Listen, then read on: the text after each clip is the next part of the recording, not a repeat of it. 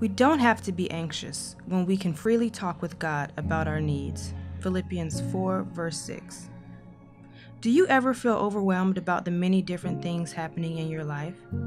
Do you ever feel like there is no one to talk to? It can be challenging at times, but we can talk to God about any and everything. Today, think about the different things in your life that seem too big for you to handle. Begin to communicate those challenges to God through prayer.